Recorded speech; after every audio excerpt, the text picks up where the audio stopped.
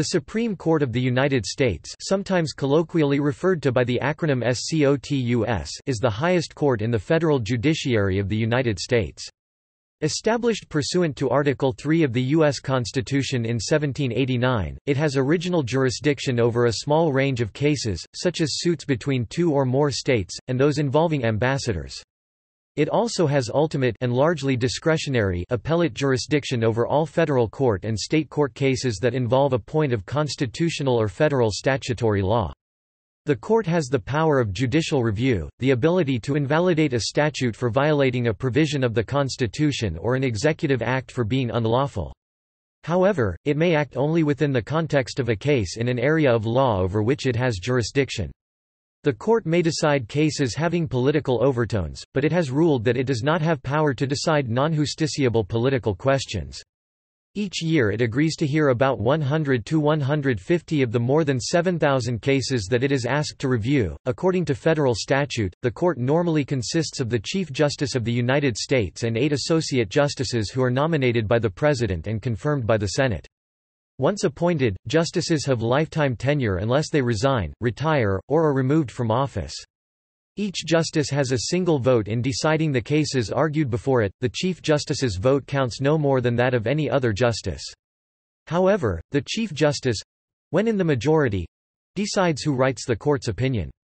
Otherwise, the senior justice in the majority assigns the writing of a decision. In modern discourse, the justices are often categorized as having conservative, moderate, or liberal philosophies of law and of judicial interpretation. While a far greater number of cases in recent history have been decided unanimously, decisions in cases of the highest profile have often come down to just one single vote, thereby exposing the justices' ideological beliefs that track with those philosophical or political categories.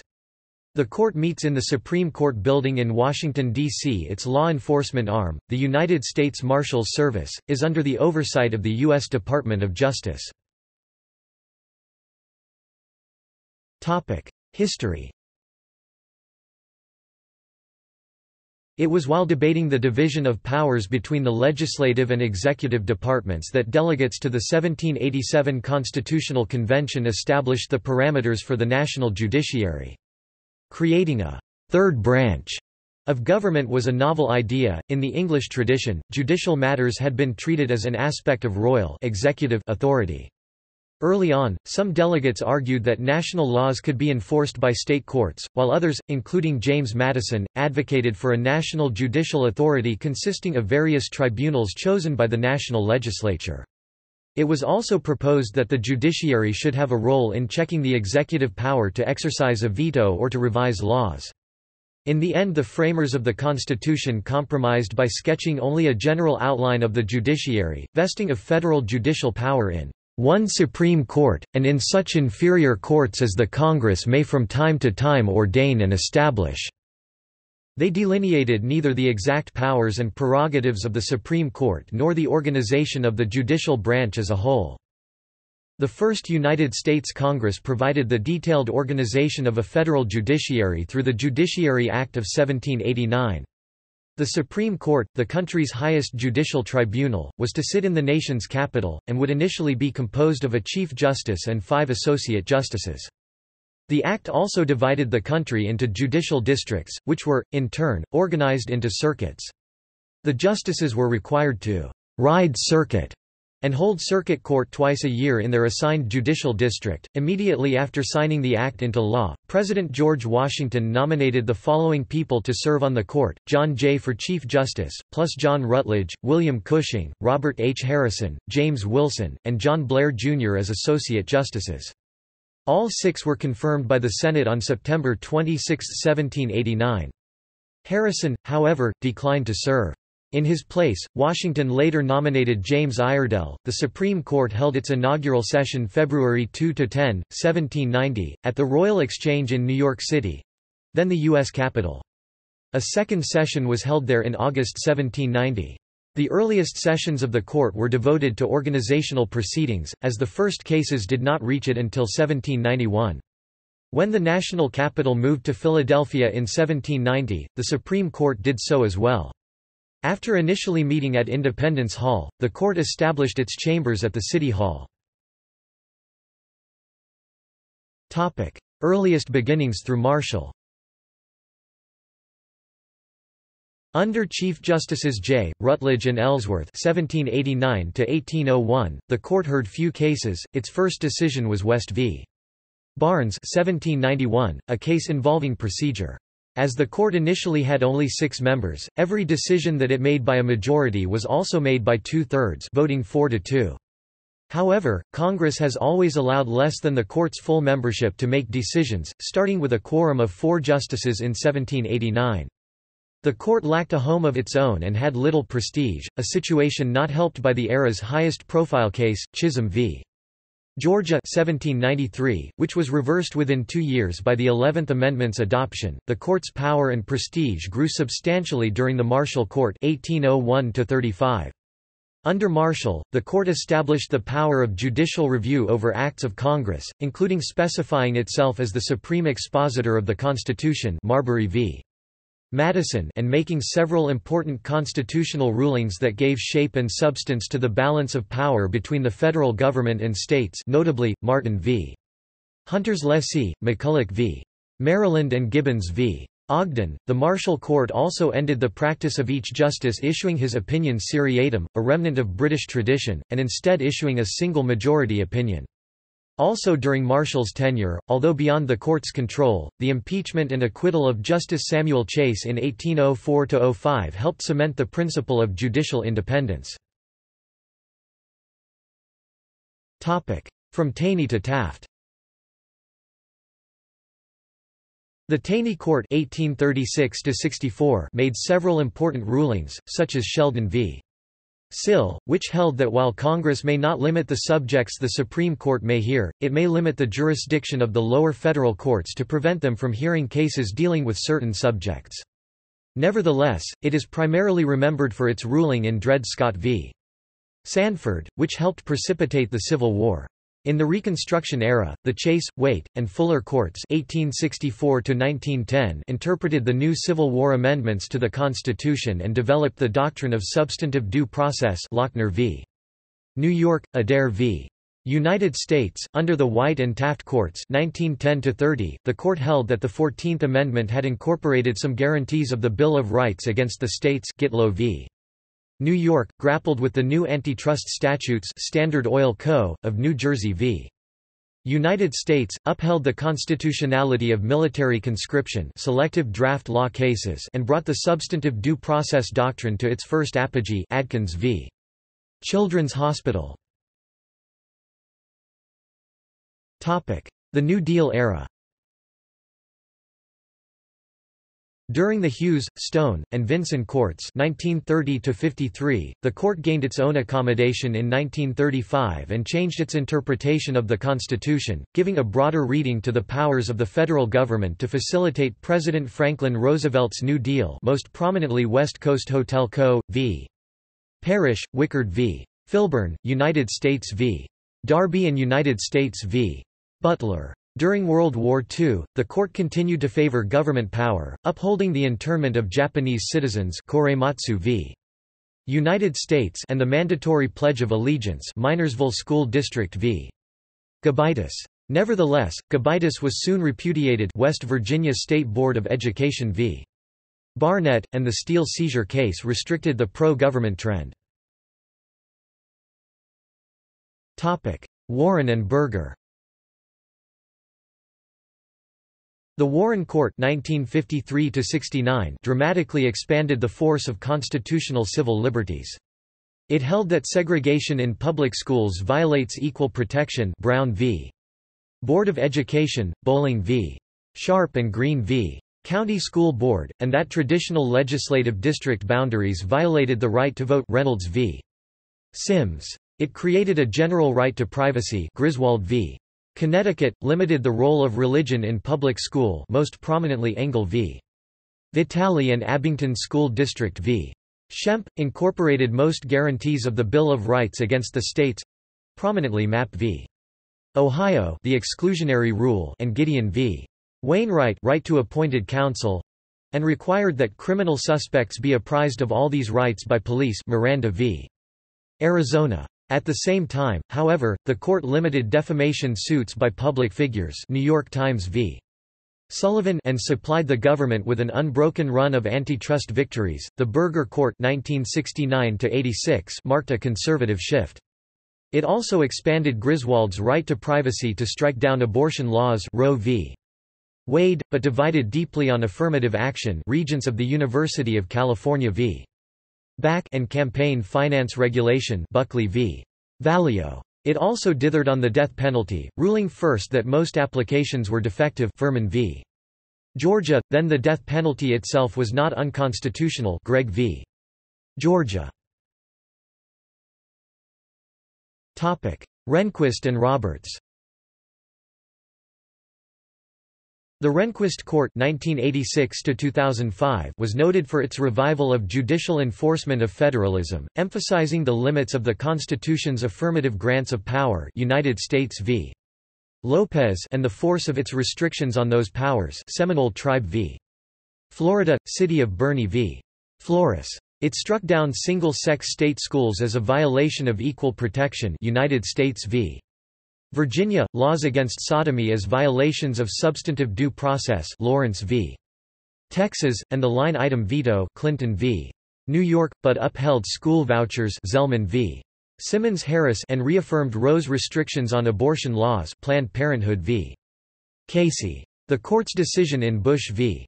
Gore, which ended the electoral recount during the presidential election of 2000, was especially controversial. The Roberts Court 2005 present is regarded by some as more conservative than the Rehnquist Court. Some of its major rulings have concerned federal preemption Wyeth v. Levine, civil procedure Twombly-Iqbal, abortion Gonzales v. Carhart, climate change Massachusetts v. EPA, same-sex marriage United States v. Windsor and Obergefell v. Hodges and the Bill of Rights, notably in Citizens United v. Federal Election Commission First Amendment, Heller McDonald Second Amendment and Baze v. Rees Eighth Amendment. Topic: Composition. Topic: Size of the court. Article 3 of the United States Constitution does not specify the number of justices. The Judiciary Act of 1789 called for the appointment of six judges, although an 1801 act would have reduced the size of the court to five members upon its next vacancy. An 1802 act promptly negated the 1801 act, legally restoring the court's size to six members before any such vacancy occurred.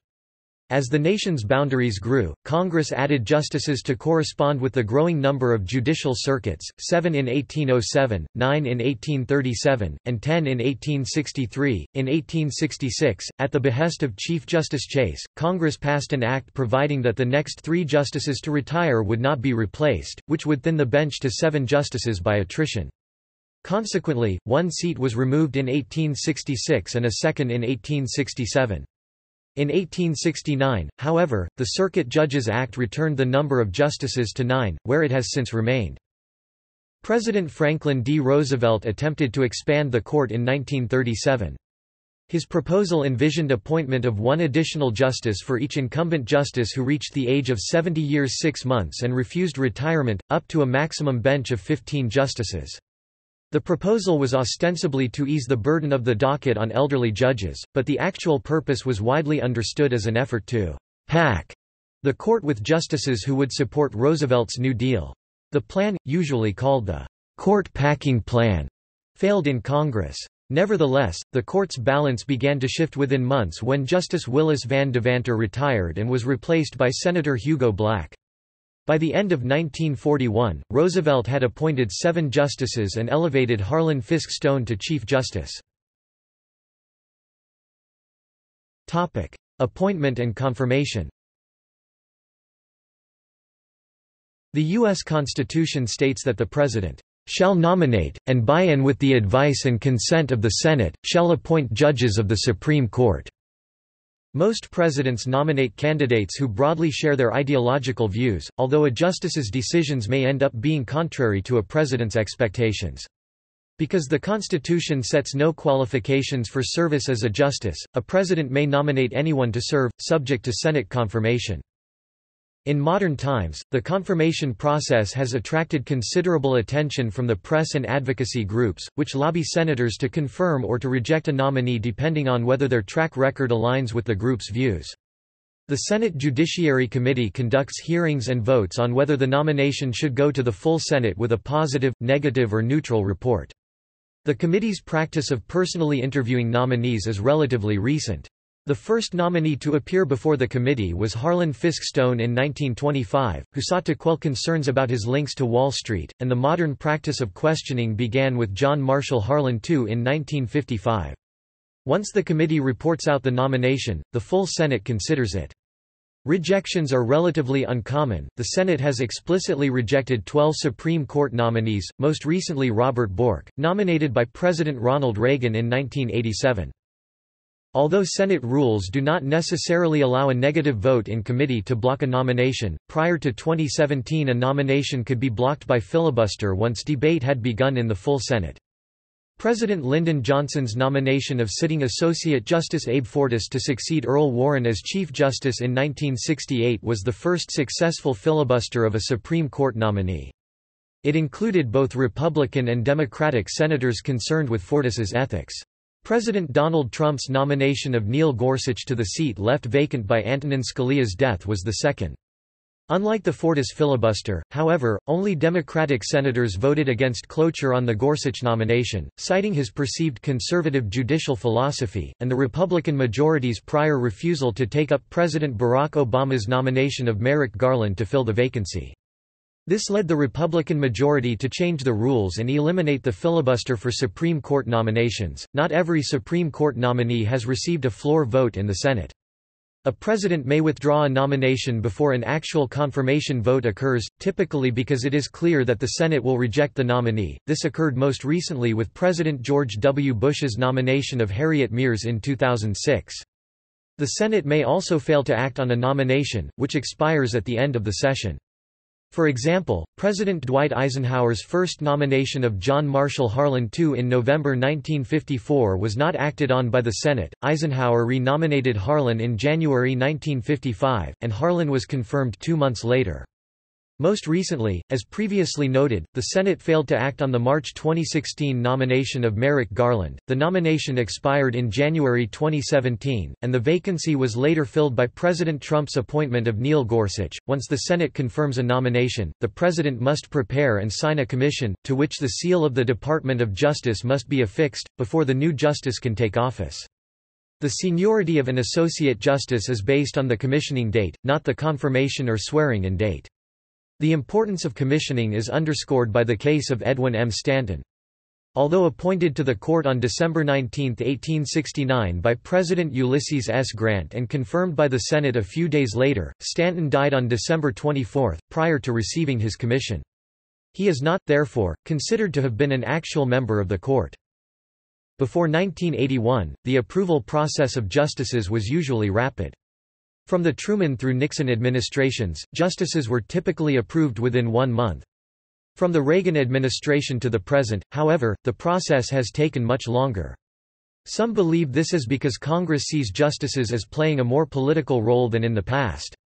According to the Congressional Research Service, the average number of days from nomination to final Senate vote since 1975 is 67 days 2.2 months, while the median is 71 days or 2.3 months.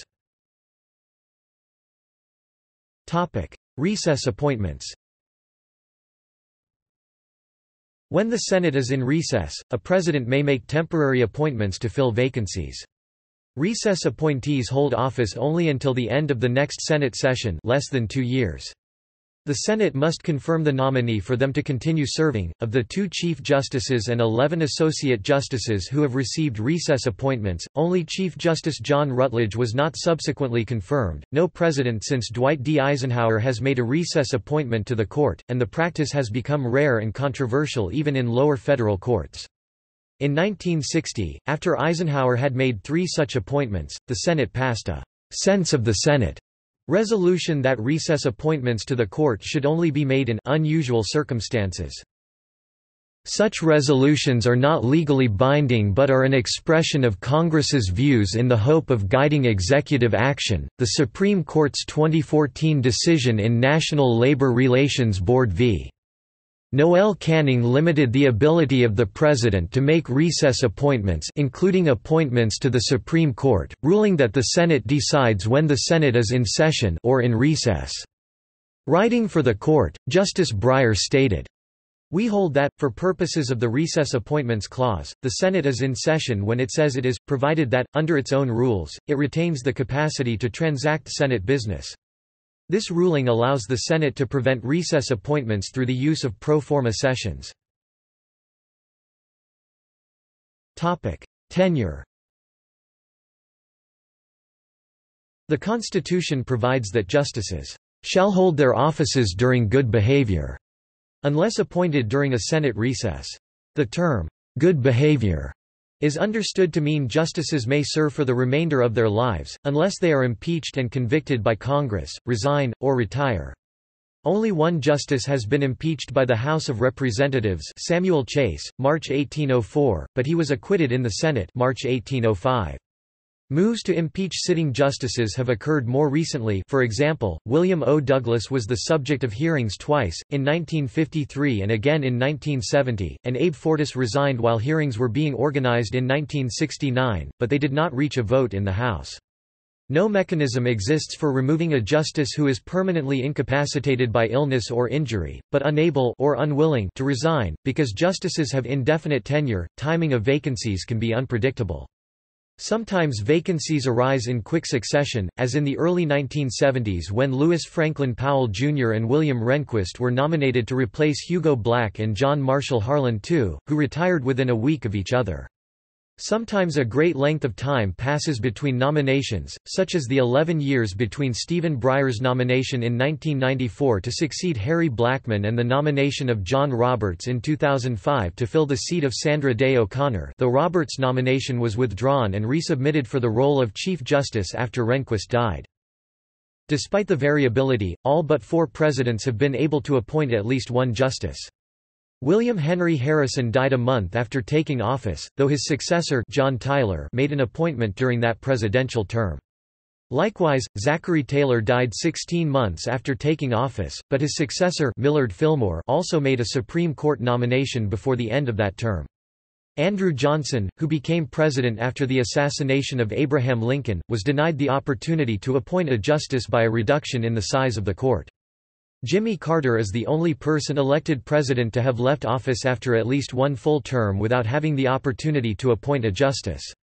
Somewhat similarly, Presidents James Monroe, Franklin D. Roosevelt, and George W. Bush each served a full term without an opportunity to appoint a justice, but made appointments during their subsequent terms in office. No president who has served more than one full term has gone without at least one opportunity to make an appointment. Three presidents have appointed justices who together served more than a century, Andrew Jackson, Abraham Lincoln, and Franklin D. Roosevelt. Membership Current justices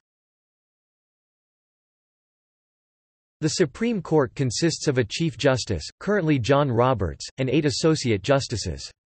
Among the current members of the court, Clarence Thomas is the longest-serving justice, with a tenure of 9,890 days 27 years, 28 days as of November 20, 2018. The most recent justice to join the court is Brett Kavanaugh, whose tenure began on October 6, 2018.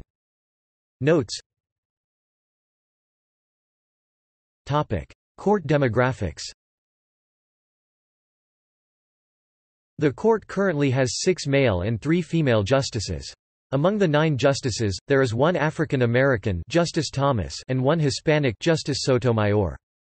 Two of the justices were born to at least one immigrant parent, Justice Alito's parents were born in Italy, and Justice Ginsburg's father was born in Russia. At least five justices are Roman Catholics and three are Jewish.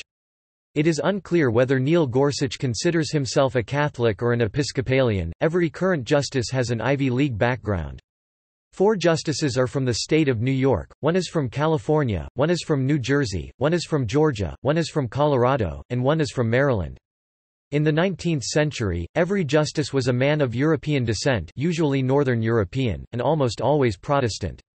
Diversity concerns focused on geography, to represent all regions of the country, rather than religious, ethnic, or gender diversity. Historically, most justices have been Protestants, including 36 Episcopalians, 19 Presbyterians, 10 Unitarians, 5 Methodists, and 3 Baptists. The first Catholic justice was Roger Taney in 1836, and 1916 saw the appointment of the first Jewish justice, Louis Brandeis. In recent years the historical situation has reversed. Most recent justices have been either Catholic or Jewish. Racial, ethnic, and gender diversity in the court began to increase in the late 20th century. Thurgood Marshall became the first African American justice in 1967. Sandra Day O'Connor became the first female justice in 1981. Marshall was succeeded by African American Clarence Thomas in 1991. O'Connor was joined by Ruth Bader Ginsburg in 1993. After O'Connor's retirement Ginsburg was joined in 2009 by Sonia Sotomayor, the first Hispanic and Latina justice, and in 2010 by Elena Kagan. For a total of four female justices in the court's history, there have been six foreign-born justices in the court's history, James Wilson (1789–1798), born in Caskardy, Scotland; James Iredell (1790–1799), born in Lewes, England; William Paterson (1793–1806), born in County Antrim, Ireland, David Brewer (1889–1910), born in Smyrna, Turkey; George Sutherland (1922–1939), born in Buckinghamshire, England, and Felix Frankfurter (1939–1962), born in Vienna, Austria. Topic: Retired justices. There are currently four living retired justices of the Supreme Court of the United States, John Paul Stevens, Sandra Day O'Connor, Anthony Kennedy, and David Souter. As retired justices, they no longer participate in the work of the Supreme Court, but may be designated for temporary assignments to sit on lower federal courts, usually the United States Courts of Appeals. Such assignments are formally made by the Chief Justice, on request of the Chief Judge of the lower court and with the consent of the retired justice. In recent years, Justice O'Connor has sat with several courts of appeals around the country, and Justice Souter has frequently sat on the First Circuit, the court of which he was briefly a member before joining the Supreme Court. The status of a retired justice is analogous to that of a circuit or district court judge who has taken senior status, and eligibility of a Supreme Court justice to assume retired status rather than simply resign from the bench is governed by the same age and service criteria. In recent times, justices tend to strategically plan their decisions to leave the bench with personal, institutional, ideological, partisan and sometimes even political factors playing a role. The fear of mental decline and death often motivates justices to step down. The desire to maximize the court's strength and legitimacy through one retirement at a time, when the court is in recess, and during non-presidential election years suggests a concern for institutional health.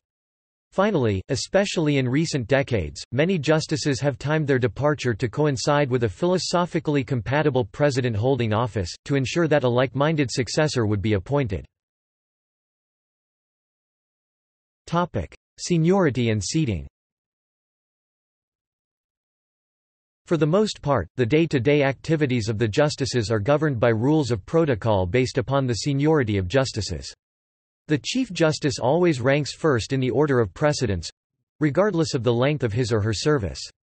The Associate Justices are then ranked by the length of their service. The Chief Justice sits in the center on the bench, or at the head of the table during conferences. The other justices are seated in order of seniority. The senior-most Associate Justice sits immediately to the Chief Justice's right, the second most senior sits immediately to his left.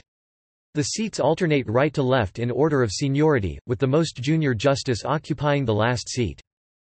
During court sessions, justices sit according to seniority, with the Chief Justice in the center and Associate Justices on alternating sides, with the most senior Associate Justice on the Chief Justice's immediate right, and the most junior Associate Justice seated on the left farthest away from the Chief Justice.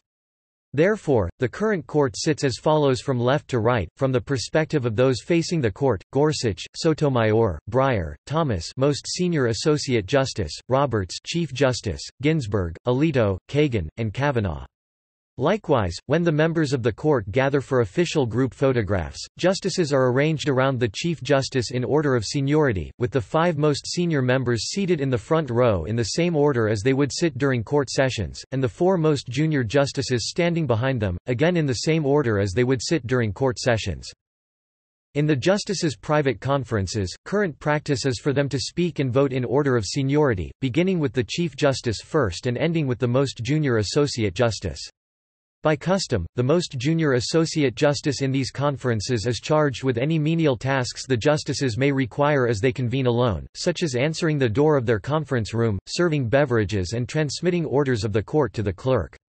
Justice Joseph Story served the longest as junior justice, from February 3, 1812, to September 1, 1823, for a total of 4,228 days. Justice Stephen Breyer follows very closely behind serving from August 3, 1994, to January 31, 2006, for a total of 4,199 days. Justice Elena Kagan comes in at a distant third serving from August 6, 2010, to April 10, 2017, for a total of 2,439 days. This graphical timeline depicts the length of each current Supreme Court justice's tenure not seniority on the court. Topic.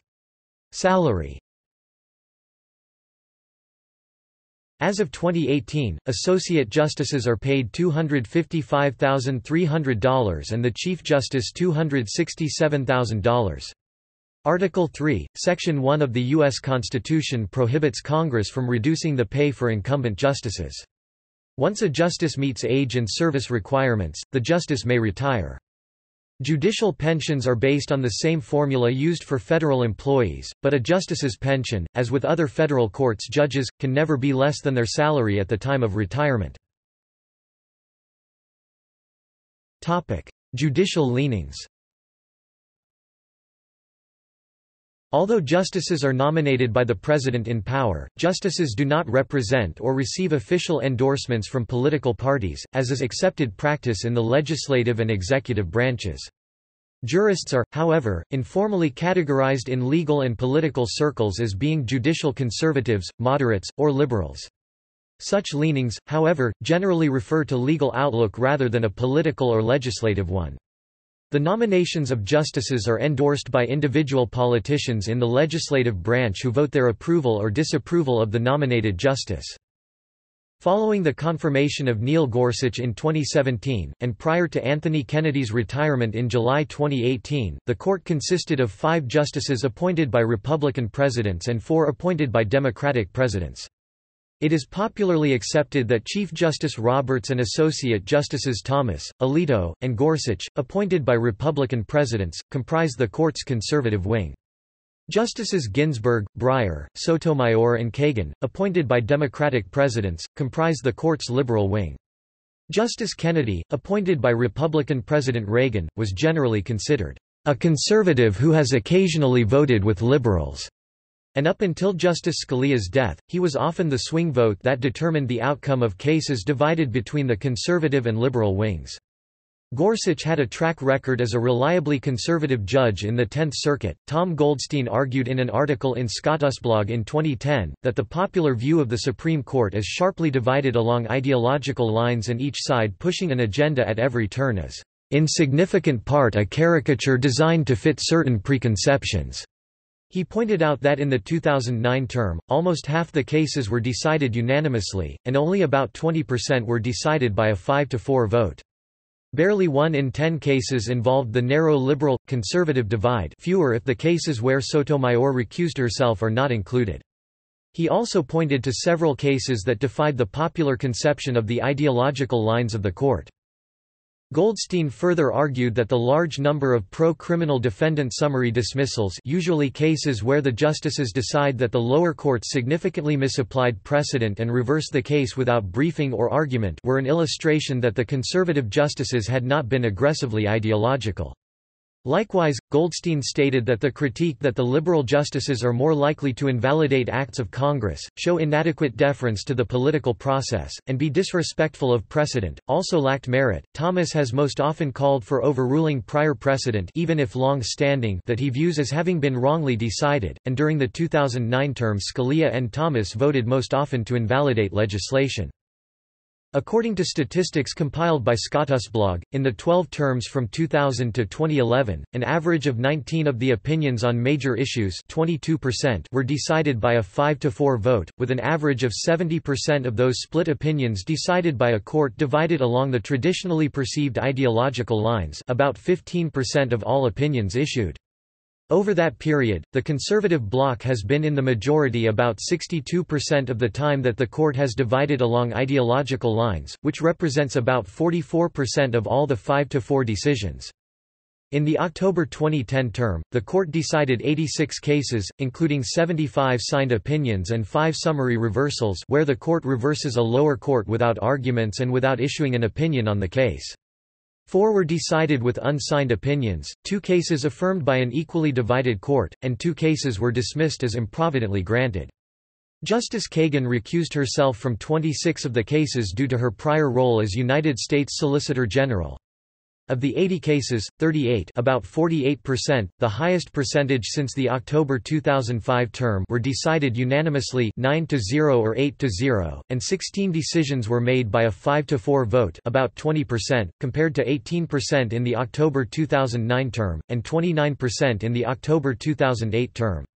However, in 14 of the 16 5-4 decisions, the court divided along the traditional ideological lines with Ginsburg, Breyer, Sotomayor, and Kagan on the liberal side, and Roberts, Scalia, Thomas, and Alito on the conservative, and Kennedy providing the swing vote. This represents 87% of those 16 cases, the highest rate in the past 10 years.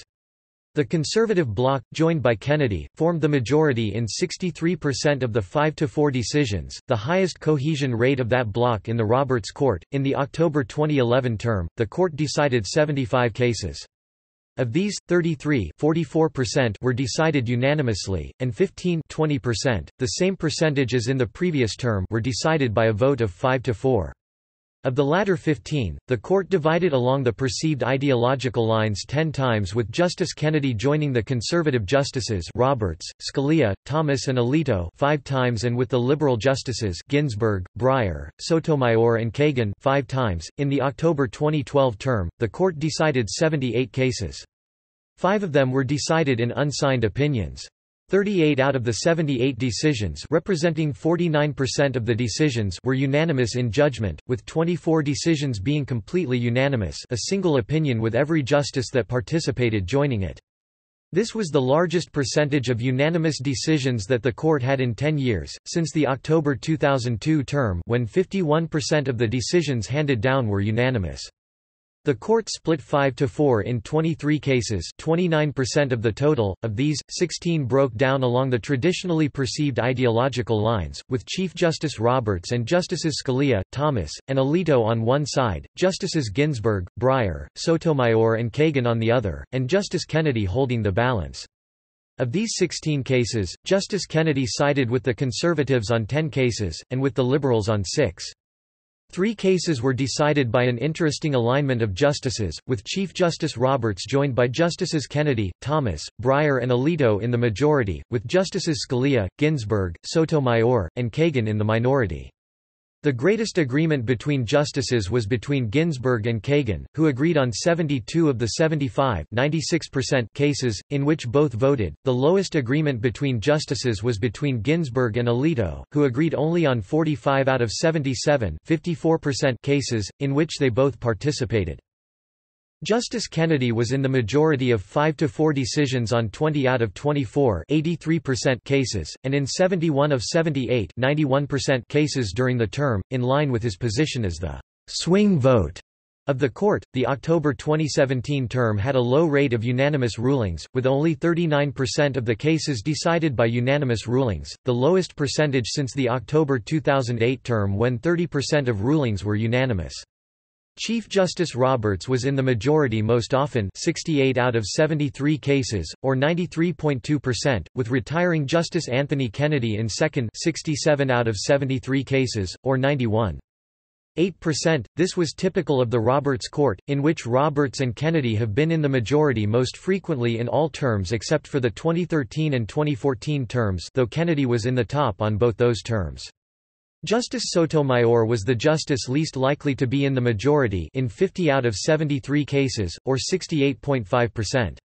The highest agreement between justices was between Ginsburg and Sotomayor, who agreed on 95.8% of the cases, followed by Thomas and Alito agreeing on 93% of cases. There were 19 cases that were decided by a 5 to 4 vote, 26% of the total cases. 74% of those cases, 14 out of 19, broke along ideological lines, and for the first time in the Roberts court, all of those resulted in a conservative majority, with Roberts, Kennedy, Thomas, Alito, and Gorsuch on the majority. Topic: Facilities The Supreme Court first met on February 1, 1790, at the Merchants Exchange Building in New York City. When Philadelphia became the capital, the court met briefly in Independence Hall before settling in Old City Hall from 1791 until 1800. After the government moved to Washington, D.C., the court occupied various spaces in the United States Capitol building until 1935, when it moved into its own purpose-built home. The four-story building was designed by Cass Gilbert in a classical style sympathetic to the surrounding buildings of the Capitol and Library of Congress, and is clad in marble. The building includes the courtroom, justices' chambers, an extensive law library, various meeting spaces, and auxiliary services including a gymnasium. The Supreme Court building is within the ambit of the architect of the Capitol, but maintains its own police force separate from the Capitol Police, located across First Street from the United States Capitol at 1 First Street Northeast and Maryland Avenue. The building is open to the public from 9 a.m. to 4:30 p.m. weekdays but closed on weekends and holidays. Visitors may not tour the actual courtroom unaccompanied. There is a cafeteria, a gift shop, exhibits, and a half-hour informational film. When the court is not in session, lectures about the courtroom are held hourly from 9.30 a.m. to 3.30 p.m. and reservations are not necessary. When the court is in session the public may attend oral arguments, which are held twice each morning and sometimes afternoons on Mondays, Tuesdays, and Wednesdays in two-week intervals from October through late April, with breaks during December and February. Visitors are seated on a first-come first-served basis. One estimate is there are about 250 seats available. The number of open seats varies from case to case. For important cases, some visitors arrive the day before and wait through the night. From mid-May until the end of June, the court releases orders and opinions beginning at 10 a.m., and these 15 to 30-minute sessions are open to the public on a similar basis. Supreme Court police are available to answer questions. Jurisdiction Congress is authorized by Article 3 of the Federal Constitution to regulate the Supreme Court's appellate jurisdiction. The Supreme Court has original and exclusive jurisdiction over cases between two or more states but may decline to hear such cases. It also possesses original but not exclusive jurisdiction to hear all actions or proceedings to which ambassadors, other public ministers, consuls, or vice-consuls of foreign states are parties, all controversies between the United States and a state, and all actions or proceedings by a state against the citizens of another state or against aliens." In 1906, the court asserted its original jurisdiction to prosecute individuals for contempt of court in United States v. Shipp. The resulting proceeding remains the only contempt proceeding and only criminal trial in the court's history. The contempt proceeding arose from the lynching of Ed Johnson in Chattanooga, Tennessee the evening after Justice John Marshall Harlan granted Johnson a stay of execution to allow his lawyers to file an appeal. Johnson was removed from his jail cell by a lynch mob—aided by the local sheriff who left the prison virtually unguarded—and hung from a bridge, after which a deputy sheriff pinned a note on Johnson's body reading, to Justice Harlan. Come get your nigger now. The local sheriff, John Shipp, cited the Supreme Court's intervention as the rationale for the lynching. The court appointed its deputy clerk as special master to preside over the trial in Chattanooga with closing arguments made in Washington before the Supreme Court justices, who found nine individuals guilty of contempt, sentencing three to 90 days in jail and the rest to 60 days in jail. In all other cases, however, the court has only appellate jurisdiction, including the ability to issue writs of mandamus and writs of prohibition to lower courts. It considers cases based on its original jurisdiction very rarely, almost all cases are brought to the Supreme Court on appeal. In practice, the only original jurisdiction cases heard by the court are disputes between two or more states. The court's appellate jurisdiction consists of appeals from federal courts of appeal through certiorari, certiorari before judgment, and certified questions. The United States Court of Appeals for the Armed Forces through certiorari, the Supreme Court of Puerto Rico through certiorari, the Supreme Court of the Virgin Islands through certiorari, the District of Columbia Court of Appeals through certiorari, and final judgments or decrees rendered by the highest court of a state in which a decision could be had, through certiorari. In the last case, an appeal may be made to the Supreme Court from a lower state court if the state's highest court declined to hear an appeal or lacks jurisdiction to hear an appeal. For example, a decision rendered by one of the Florida District Courts of Appeal can be appealed to the U.S. Supreme Court if a, the Supreme Court of Florida declined to grant certiorari, e.g. Florida Star v. BJF, or B the District Court of Appeal issued a per curiam decision simply affirming the lower court's decision without discussing the merits of the case, since the Supreme Court of Florida lacks jurisdiction to hear appeals of such decisions. The power of the Supreme Court to consider appeals from state courts, rather than just federal courts, was created by the Judiciary Act of 1789 and upheld early in the court's history, by its rulings in Martin v. Hunter's Lessee 1816 and Cohens v. Virginia 1821. The Supreme Court is the only federal court that has jurisdiction over direct appeals from state court decisions, although there are several devices that permit so-called collateral review of state cases. It has to be noted that this collateral review often only applies to individuals on death row and not through the regular judicial system, since Article 3 of the United States Constitution stipulates that federal courts may only entertain cases or Controversies. The Supreme Court cannot decide cases that are moot and it does not render advisory opinions, as the Supreme Courts of some states may do. For example, in DeFunis v. Odegaard, 416 U.S. 312 1974, the court dismissed a lawsuit challenging the constitutionality of a law school affirmative action policy because the plaintiff student had graduated since he began the lawsuit, and a decision from the court on his claim would not be able to redress any injury he had suffered. However, the court recognizes some circumstances where it is appropriate to hear a case that is seemingly moot. If an issue is capable of repetition yet evading review, the court will address it even though the party before the court would not himself be made whole by a favorable result. In Roe v. Wade, 410 U.S. 113 1973, and other abortion cases, the court addresses the merits of claims pressed by pregnant women seeking abortions even if they are no longer pregnant because it takes longer than the typical human gestation period to appeal a case through the lower courts to the Supreme Court. Another mootness exception is voluntary cessation of unlawful conduct, in which the court considers the probability of recurrence and plaintiff's need for relief. Justices as circuit justices The United States is divided into 13 circuit courts of appeals, each of which is assigned a «circuit justice» from the Supreme Court. Although this concept has been in continuous existence throughout the history of the Republic, its meaning has changed through time. Under the Judiciary Act of 1789, each justice was required to «ride circuit» or to travel within the assigned circuit and consider cases alongside local judges. This practice encountered opposition from many justices, who cited the difficulty of travel. Moreover, there was a potential for a conflict of interest on the court if a justice had previously decided the same case while riding circuit.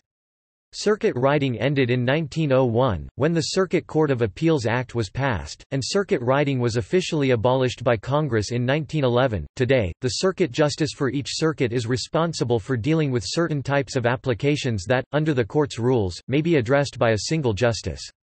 These include applications for emergency stays including stays of execution in death penalty cases and injunctions pursuant to the All Writs Act arising from cases within that circuit, as well as routine requests such as requests for extensions of time. In the past, circuit justices also sometimes ruled on motions for bail in criminal cases, writs of habeas corpus, and applications for writs of error granting permission to appeal. Ordinarily, a justice will resolve such an application by simply endorsing it granted, or denied, or entering a standard form of order. However, the justice may elect to write an opinion referred to as an in-chambers opinion in such matters if he or she wishes, a circuit justice may sit as a judge on the Court of Appeals of that circuit, but over the past hundred years, this has rarely occurred. A circuit justice sitting with the Court of Appeals has seniority over the chief judge of the circuit. The Chief Justice has traditionally been assigned to the District of Columbia Circuit, the Fourth Circuit which includes Maryland and Virginia, the states surrounding the District of Columbia, and since it was established, the Federal Circuit. Each Associate Justice is assigned to one or two judicial circuits. As of October 19, 2018, the allotment of the justices among the circuits is Three of the current justices are assigned to circuits on which they previously sat as circuit judges, Chief Justice Roberts D.C. Circuit, Justice Breyer First Circuit, and Justice Alito Third Circuit.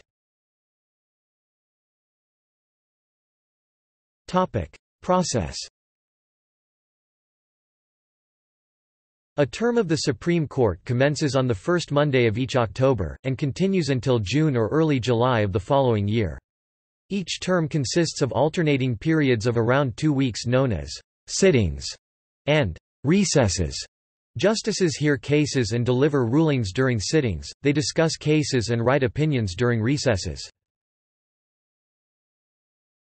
Topic. Case selection Nearly all cases come before the court by way of petitions for writs of certiorari, commonly referred to as cert.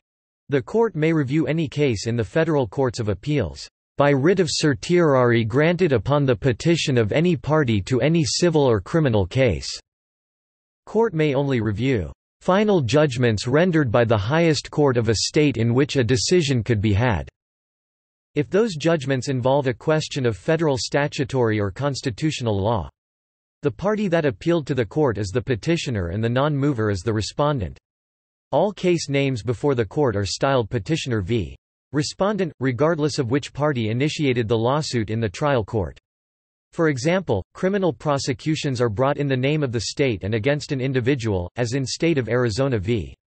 Ernesto Miranda. If the defendant is convicted, and his conviction then is affirmed on appeal in the state Supreme Court, when he petitions for cert the name of the case becomes Miranda v.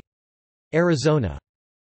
There are situations where the court has original jurisdiction, such as when two states have a dispute against each other, or when there is a dispute between the United States and a state.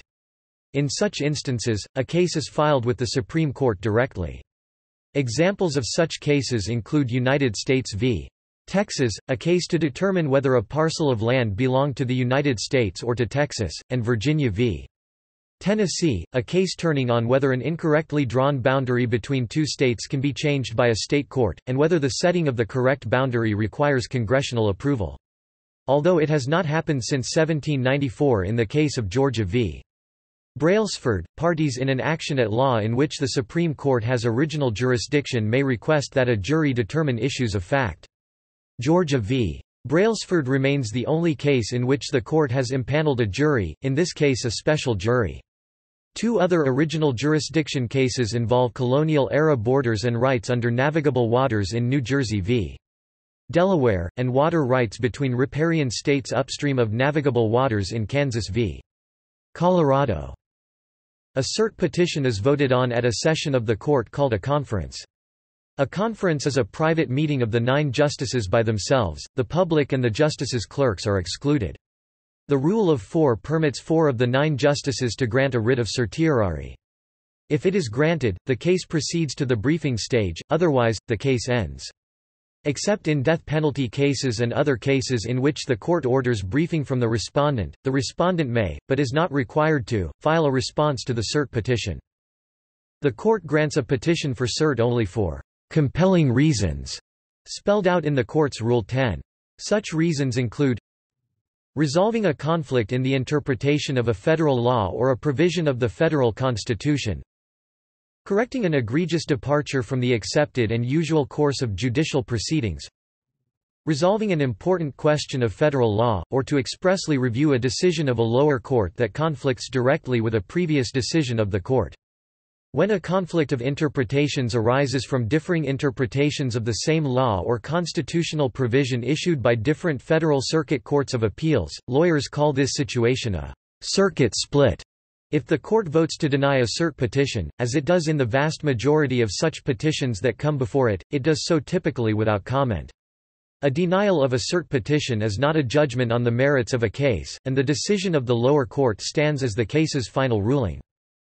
To manage the high volume of cert petitions received by the court each year of the more than 7,000 petitions the court receives each year, it will usually request briefing and hear oral argument in 100 or fewer. The court employs an internal case management tool known as the cert pool.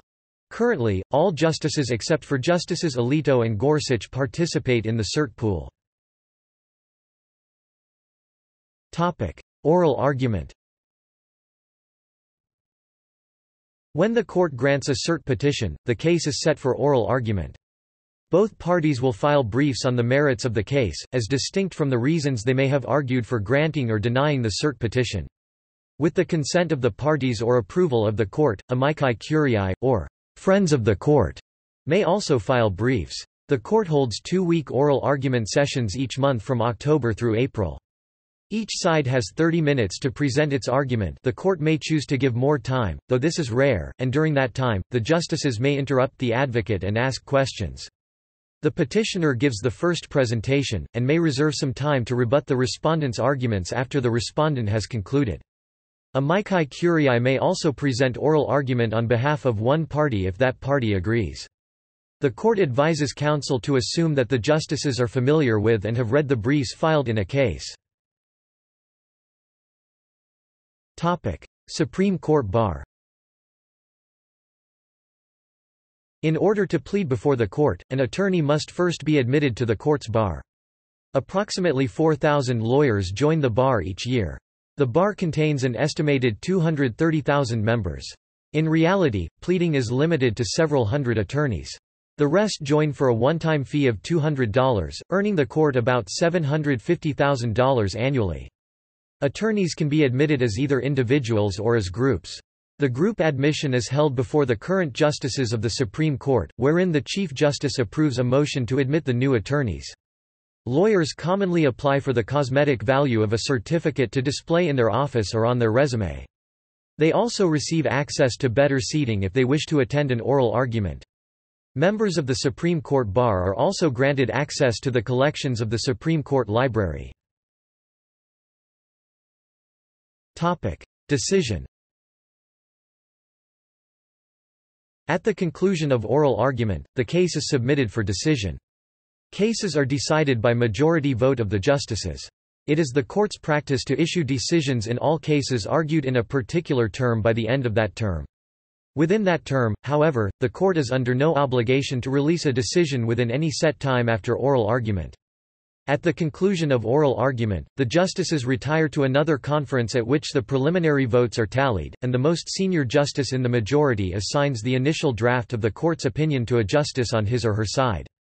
Drafts of the court's opinion, as well as any concurring or dissenting opinions, circulate among the justices until the court is prepared to announce the judgment in a particular case. Since recording devices are banned inside the courtroom of the United States Supreme Court building, the delivery of the decision to the media is done via paper copies and is known as the running of the interns. It is possible that, through recusals or vacancies, the court divides evenly on a case. If that occurs, then the decision of the court below is affirmed, but does not establish binding precedent. In effect, it results in a return to the status quo ante. For a case to be heard, there must be a quorum of at least six justices. If a quorum is not available to hear a case and a majority of qualified justices believes that the case cannot be heard and determined in the next term, then the judgment of the court below is affirmed as if the court had been evenly divided. For cases brought to the Supreme Court by direct appeal from a United States District Court, the Chief Justice may order the case remanded to the appropriate U.S. Court of Appeals for a final decision there. This has only occurred once in U.S. history, in the case of United States v. Alcoa 1945. Topic: Published opinions The court's opinions are published in three stages. First, a slip opinion is made available on the court's website and through other outlets. Next, several opinions and lists of the court's orders are bound together in paperback form, called a preliminary print of United States Reports, the official series of books in which the final version of the court's opinions appears. About a year after the preliminary prints are issued, a final bound volume of U.S. reports is issued. The individual volumes of U.S. reports are numbered so that users may cite this set of reports or a competing version published by another commercial legal publisher but containing parallel citations to allow those who read their pleadings and other briefs to find the cases quickly and easily. As of the beginning of October 2016 term, there are 564 final bound volumes of U.S. reports, covering cases through the end of October 2010 term, which ended on September 28, 2011.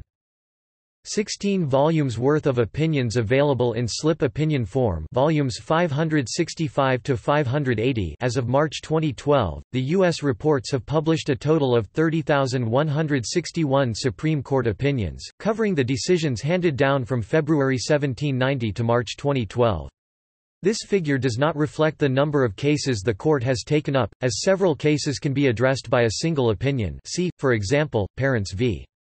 Seattle, where Meredith v. Jefferson County Board of Education was also decided in the same opinion, by a similar logic, Miranda v. Arizona actually decided not only Miranda but also three other cases, Vignera v. New York, Westover v. United States, and California v. Stewart. A more unusual example is the telephone cases, which comprise a single set of interlinked opinions that take up the entire 126th volume of the U.S. reports. Opinions are also collected and published in two unofficial, parallel reporters, Supreme Court Reporter, published by West now a part of Thomson Reuters, and United States Supreme Court Reports, Lawyers Edition simply known as Lawyers Edition, published by LexisNexis. In court documents, legal periodicals and other legal media, case citations generally contain cites from each of the three reporters, for example, citation to Citizens United v. Federal Election Commission is presented as Citizens United v. Federal Election Common, 585 U.S. 5130, South Connecticut 876, 175 L. ed., 2d 753 2010, with S. Court representing the Supreme Court reporter, and L. ed. representing the lawyer's edition. Citations to published opinions Lawyers use an abbreviated format to cite cases, in the form volume US. Page, pin year, where volume is the volume number, page is the page number on which the opinion begins, and year is the year in which the case was decided. Optionally, pin is used to pinpoint to a specific page number within the opinion. For instance, the citation for Roe v. Wade is 410 U.S. 113 1973, which means the case was decided in 1973 and appears on page 113 of volume 410 of U.S. Reports. For opinions or orders that have not yet been published in the preliminary print, the volume and page numbers may be replaced with underscore underscore underscore Topic: Institutional powers and constraints. The federal court system and the judicial authority to interpret the Constitution received little attention in the debates over the drafting and ratification of the Constitution. The power of judicial review, in fact, is nowhere mentioned in it. Over the ensuing years, the question of whether the power of judicial review was even intended by the drafters of the Constitution was quickly frustrated by the lack of evidence bearing on the question either way. Nevertheless, the power of judiciary to overturn laws and executive actions it determines are unlawful or unconstitutional is a well-established precedent. Many of the Founding Fathers accepted the notion of judicial review. In Federalist No. 78, Alexander Hamilton wrote, A constitution is, in fact, and must be regarded by the judges, as a fundamental law. It therefore belongs to them to ascertain its meaning, as well as the meaning of any particular act proceeding from the legislative body. If there should happen to be an irreconcilable variance between the two, that which has the superior obligation and validity ought, of course, to be preferred, or, in other words, the Constitution ought to be preferred to the statute. The Supreme Court firmly established its power to declare laws unconstitutional in Marbury v. Madison 1803, consummating the American system of checks and balances. In explaining the power of judicial review, Chief Justice John Marshall stated that the authority to interpret the law was the particular province of the courts, part of the duty of the judicial department to say what the law is. His contention was not that the court had privileged insight into constitutional requirements, but that it was the constitutional duty of the judiciary, as well as the other branches of government, to read and obey the dictates of the Constitution. Since the founding of the Republic, there has been a tension between the practice of judicial review and the democratic ideals of egalitarianism, self government, self determination, and freedom of conscience. At one pole are those who view the federal judiciary and especially the Supreme Court as being the most separated and least checked of all branches of government. Indeed, federal judges and justices on the Supreme Court are not required to stand for election by virtue of their tenure during good behavior, and their pay may not be diminished while they hold their position section 1 of Article 3. Though subject to the process of impeachment, only one justice has ever been impeached and no Supreme Court justice has been removed from office. At the other pole are those who view the judiciary as the least dangerous branch, with little ability to resist the exhortations of the other branches of government. The Supreme Court, it is noted, cannot directly enforce its rulings, instead, it relies on respect for the Constitution and for the law for adherence to its judgments. One notable instance of nonacquiescence came in 1832, when the state of Georgia ignored the Supreme Court's decision in Worcester v. Georgia. President Andrew Jackson, who sided with the Georgia courts, is supposed to have remarked, John Marshall has made his decision, now let him enforce it, however, this alleged quotation has been disputed. Some state governments in the South also resisted the desegregation of public schools after the 1954 judgment Brown v. Board of Education. More recently, many feared that President Nixon would refuse to comply with the court's order in United States v. Nixon 1974 to surrender the Watergate tapes. Nixon, however, ultimately complied with the Supreme Court's ruling. Supreme Court decisions can be and have been purposefully overturned by constitutional amendment, which has happened on five occasions, Chisholm v. Georgia 1793 overturned by the 11th Amendment 1795 Dred Scott v.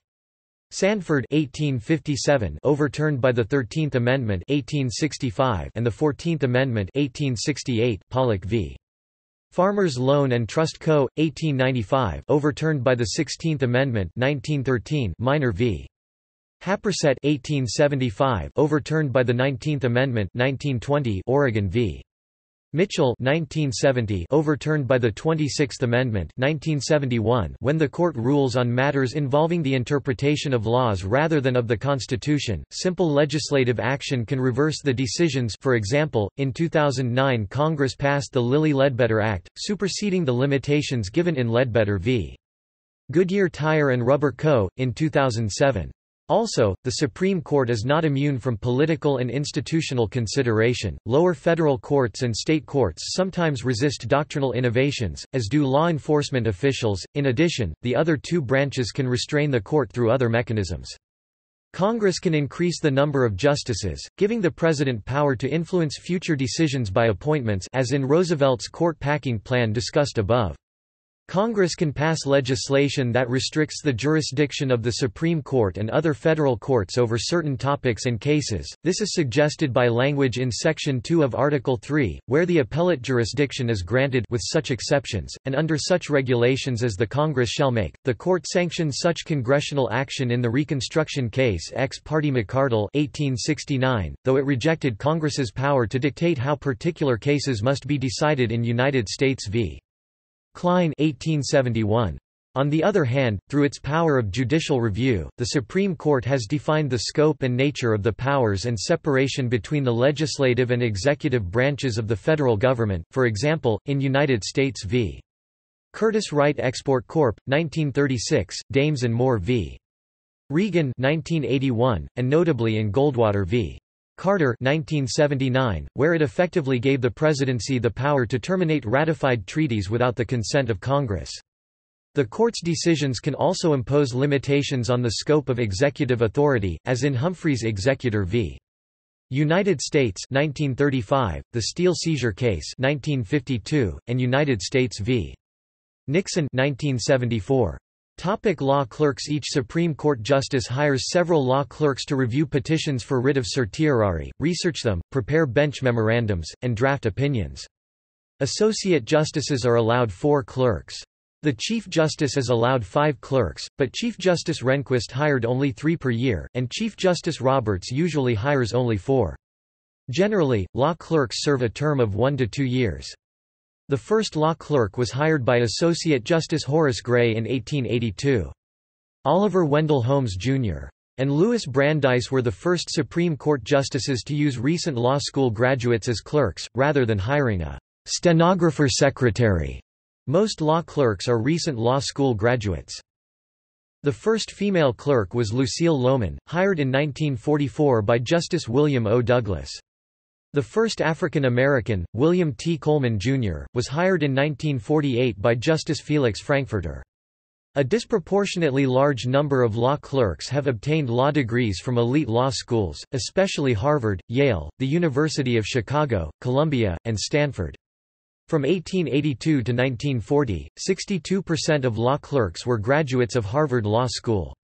Those chosen to be Supreme Court law clerks usually have graduated in the top of their law school class and were often an editor of the Law Review or a member of the Moot Court Board. By the mid-1970s, clerking previously for a judge in a federal court of appeals had also become a prerequisite to clerking for a Supreme Court justice. Eight Supreme Court justices previously clerked for other justices, Byron White for Frederick M. Vinson, John Paul Stevens for Wiley Rutledge, William Rehnquist for Robert H. Jackson, Stephen Breyer for Arthur Goldberg, John Roberts for William Rehnquist, Elena Kagan for Thurgood Marshall, Neil Gorsuch for both Byron White and Anthony Kennedy, and Brett Kavanaugh for Kennedy. Justices Gorsuch and Kavanaugh served under Kennedy during the same term. Gorsuch is the first justice to serve alongside a justice for whom he or she clerked.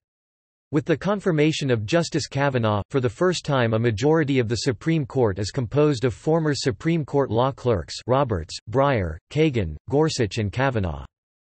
Several current Supreme Court justices have also clerked in the federal courts of appeals, John Roberts for Judge Henry Friendly of the United States Court of Appeals for the Second Circuit, Justice Samuel Alito for Judge Leonard I. Garth of the United States Court of Appeals for the Third Circuit, Elena Kagan for Judge Abner J. Mikva of the United States Court of Appeals for the District of Columbia Circuit, Neil Gorsuch for Judge David B. Sentelle of the United States Court of Appeals for the District of Columbia, and Brett Kavanaugh for Judge Walter Stapleton of the United States Court of Appeals for the Third Circuit and Judge Alex Kozinski of the United States Court of Appeals for the Ninth Circuit. Politicization of the court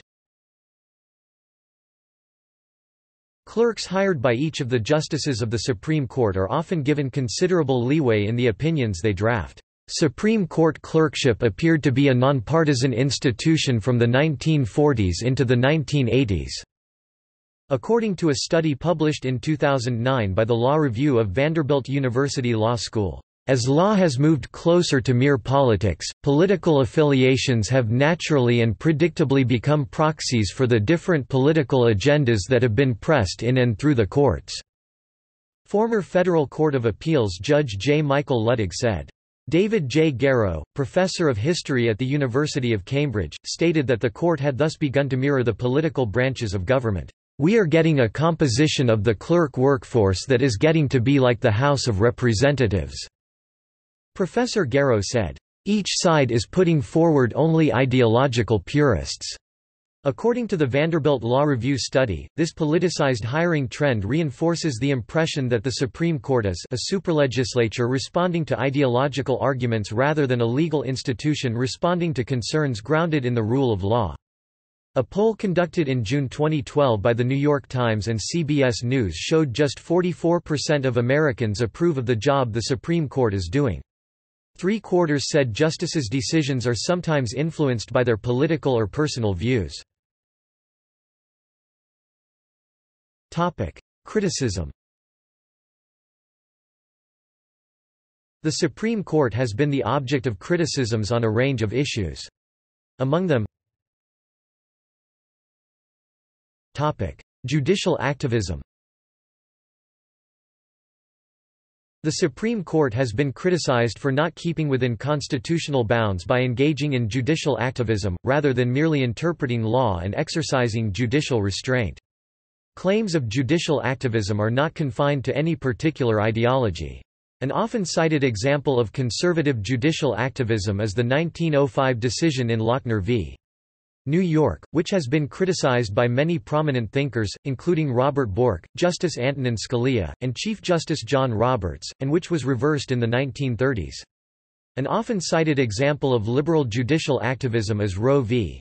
Wade 1973, which legalized abortion on the basis of the right to privacy, inferred from the Fourteenth Amendment, a reasoning that some critics argued was circuitous. Legal scholars, justices, and presidential candidates have criticized the Roe decision. The progressive Brown v. Board of Education decision has been criticized by conservatives such as Patrick Buchanan and former presidential contender Barry Goldwater. More recently, Citizens United v. Federal Election Commission was criticized for expanding upon the precedent in First National Bank of Boston v. Bellotti 1978 that the First Amendment applies to corporations. President Abraham Lincoln warned, referring to the Dred Scott decision, that if government policy became irrevocably fixed by decisions of the Supreme Court, the people will have ceased to be their own rulers. Former Justice Thurgood Marshall justified judicial activism with these words, "You do what you think is right and let the law catch up." During different historical periods, the court has leaned in different directions. Critics from both sides complain that activist judges abandon the Constitution and substitute their own views instead. Critics include writers such as Andrew Napolitano, Phyllis Schlafly, Mark R. Levin, Mark I. Sutherland, and James MacGregor Burns. Past presidents from both parties have attacked judicial activism, including Franklin D. Roosevelt, Richard Nixon, and Ronald Reagan. Failed Supreme Court nominee Robert Bork wrote, what judges have wrought is a coup d'état, slow-moving and genteel, but a coup d'état nonetheless." Senator Al Franken quipped that when politicians talk about judicial activism, "...their definition of an activist judge is one who votes differently than they would like." Brian Leiter wrote that, Given the complexity of the law and the complexity involved in saying what really happened in a given dispute, all judges, and especially those on the Supreme Court, often have to exercise a quasi-legislative power." And, "...Supreme Court nominations are controversial because the court is a super-legislature, and because its moral and political judgments are controversial." Failing to protect individual rights Court decisions have been criticized for failing to protect individual rights. The Dred Scott (1857) decision upheld slavery. Plessy v. Ferguson (1896) upheld segregation under the doctrine of separate but equal. Kelo v.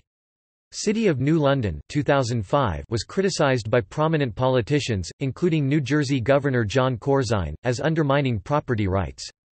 Some critics suggest the 2009 bench with a conservative majority has become increasingly hostile to voters by siding with Indiana's voter identification laws which tend to disenfranchise large numbers of people without driver's licenses, especially poor and minority voters." According to one report, Senator Al Franken criticized the court for eroding individual rights However, others argue that the court is too protective of some individual rights, particularly those of people accused of crimes or in detention. For example, Chief Justice Warren Burger was an outspoken critic of the exclusionary rule, and Justice Scalia criticized the court's decision in Boumediene v.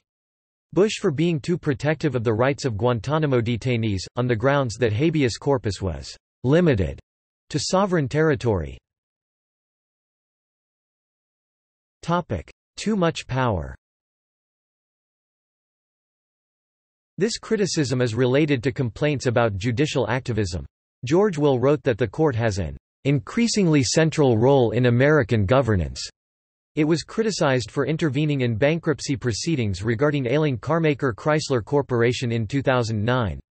A reporter wrote that, "...Justice Ruth Bader Ginsburg's intervention in the Chrysler bankruptcy," left open the "...possibility of further judicial review."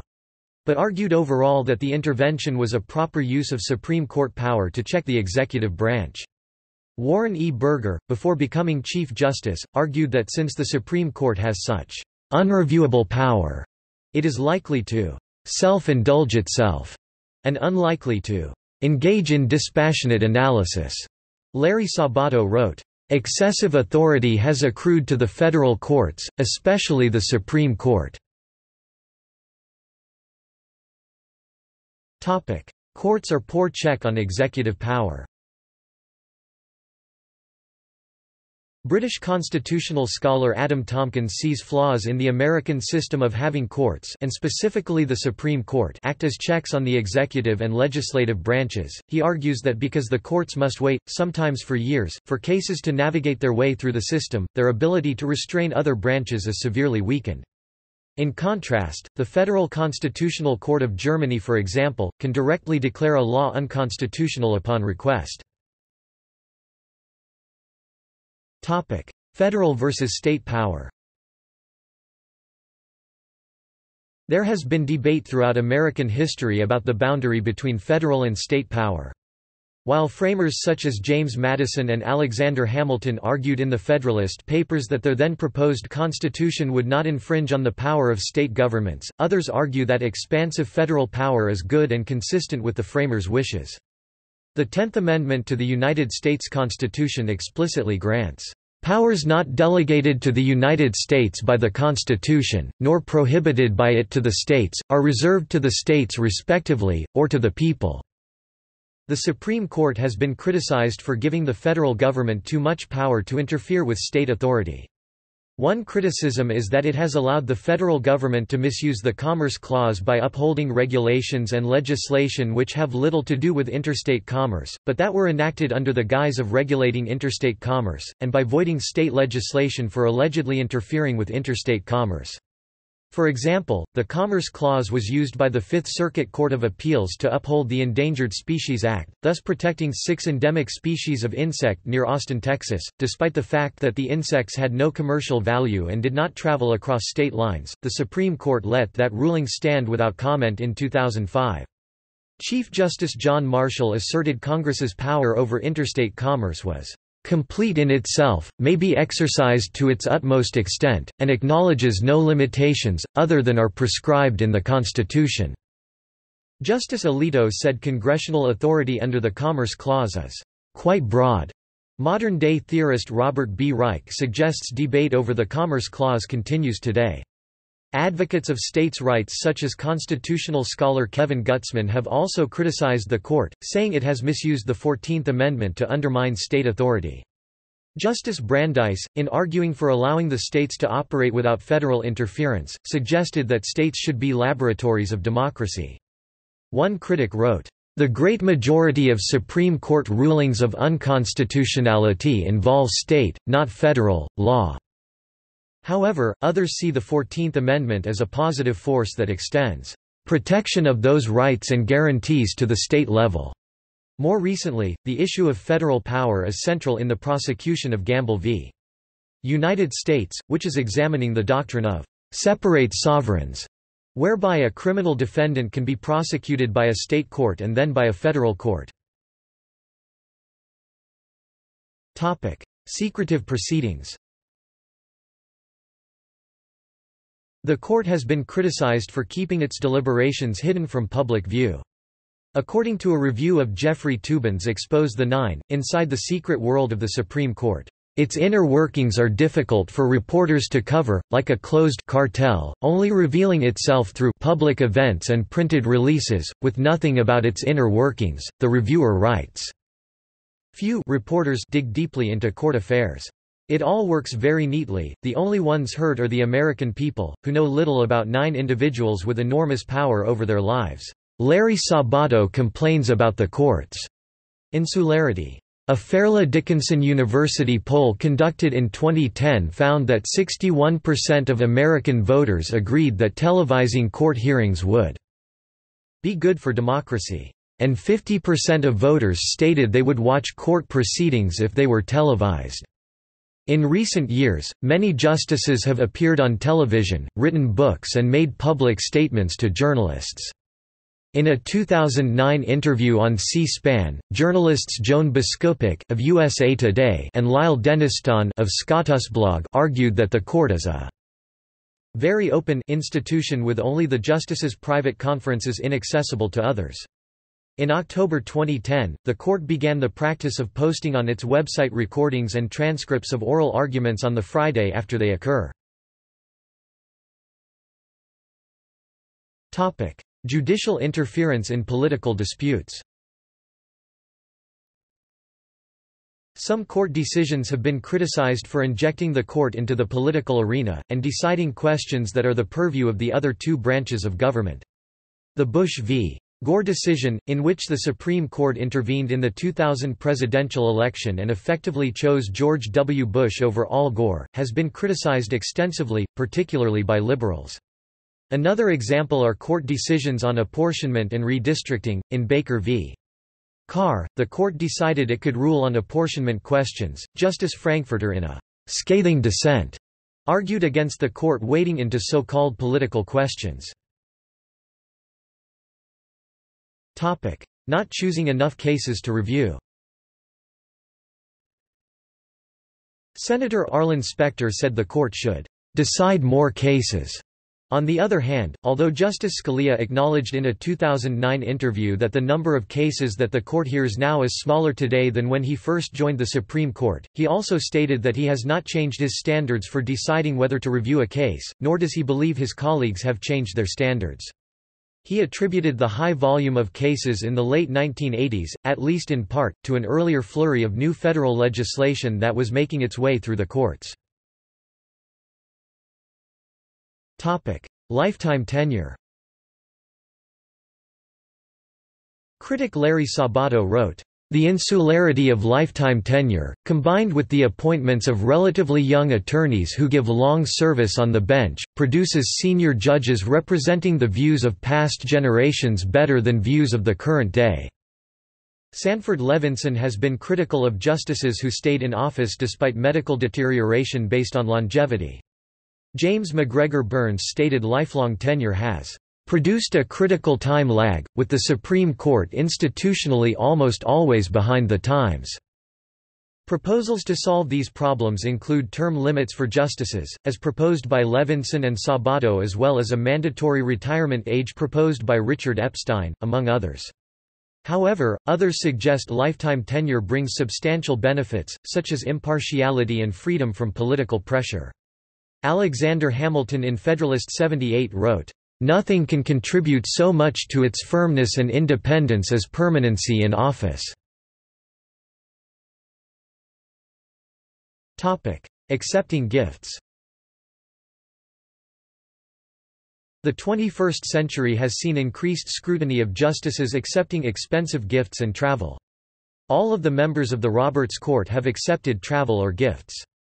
In 2012, Justice Sonia Sotomayor received $1.9 million in advances from her publisher Knopf Doubleday.